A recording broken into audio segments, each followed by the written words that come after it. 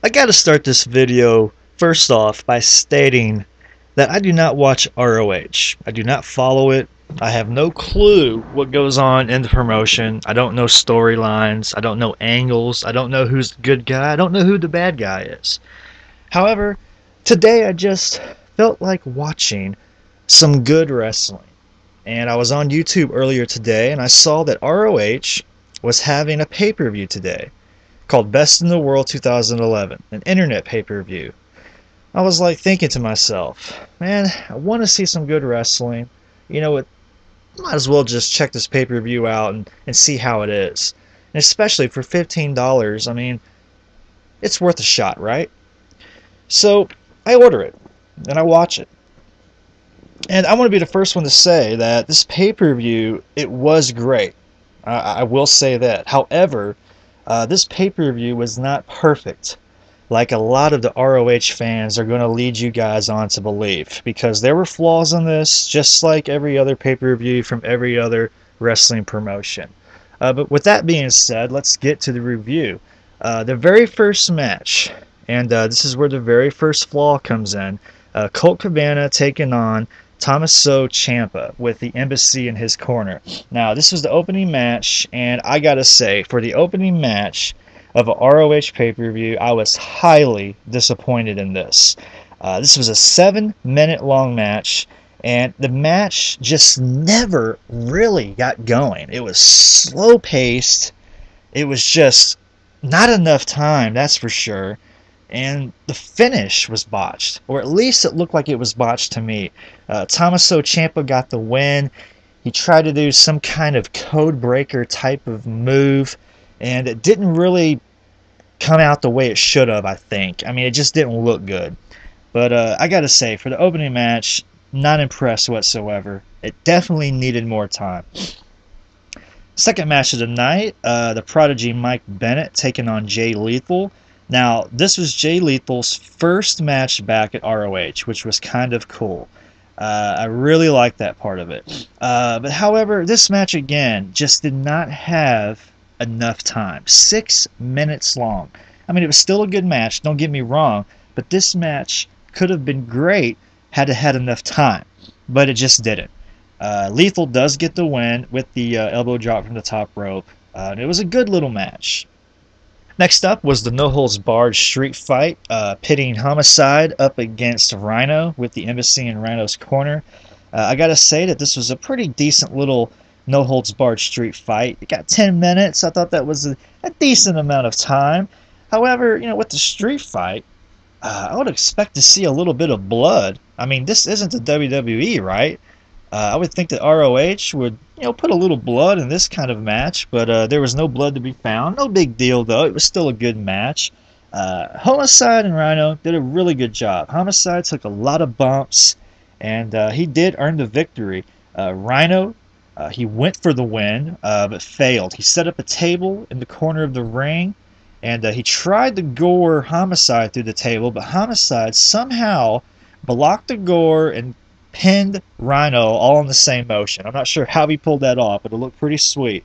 But uh, after the match, Rhino got his. He uh, finally was able to gore Homicide through the table, and uh, he proceeded just to beat uh, Homicide up. And uh, it ended up being a good little match. I did like it.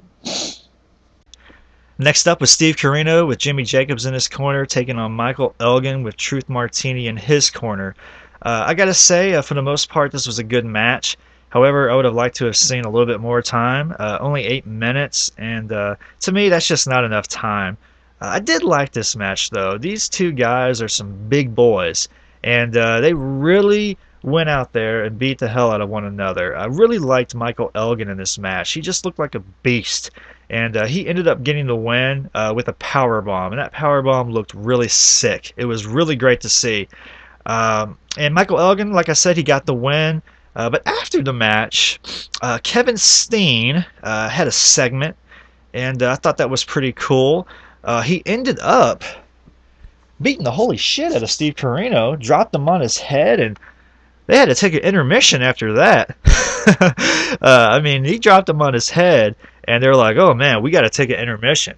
And I swear that intermission was like 30 minutes long. And when they came back, Steve Corino was st- still in the middle of the ring. I was like, damn, he's really selling that. Or he was really hurt. I'm not really sure what it was. Uh, but yeah, there was an intermission on this pay per view. That's something that I'm not used to whatsoever. Uh, it kind of was a buzzkill, uh, but I totally do understand why they took an intermission. Uh, because the next three matches, uh, which all were title matches, ended up being the best matches of the night. And I'm talking about three matches that ended up being about 96 minutes in total. Three matches were about an hour and a half long. That's insane. Uh, but let's get to the final three matches. Uh, first was the ROH TV title match, El Generico taking on the champion Christopher Daniels. Now, this was the first great match of the night. Uh, you know, I was really wondering about this pay per view. I was like, where is this pay per view going to pick up? And uh, it picked up with this match right here. I got to say, it was a really great match. 20 minutes long, a great amount of time.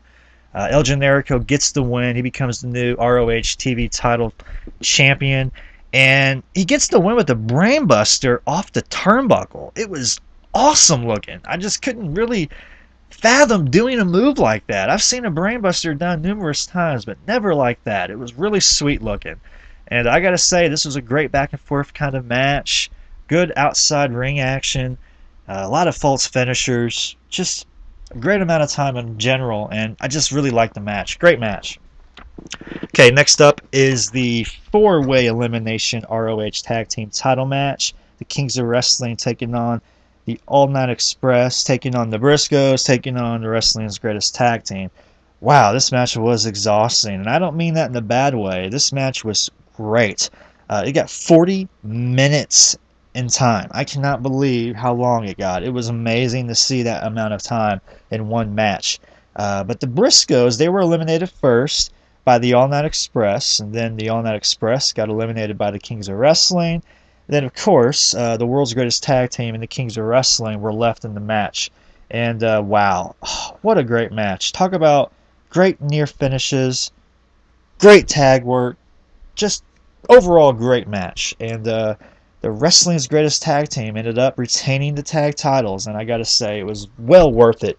Uh, the greatest moments in this match had to be when Kenny King and Shelton Benjamin were in the match. Those two shined in this match, and I really hope to see a match between these two one day in the near future because I'm sure these guys will tear the house down. But uh, I gotta say, overall, a great, great match. And there's one thing in this match I don't think I've ever seen before that really impressed me, and that was the uh, no hands airplane spin uh, that was awesome. I believe Claudio did that move on Charlie Haas, but uh, if you haven't seen it, I highly recommend you checking that out. It was so cool to see. Uh, but anyways, I got to say it was a great match.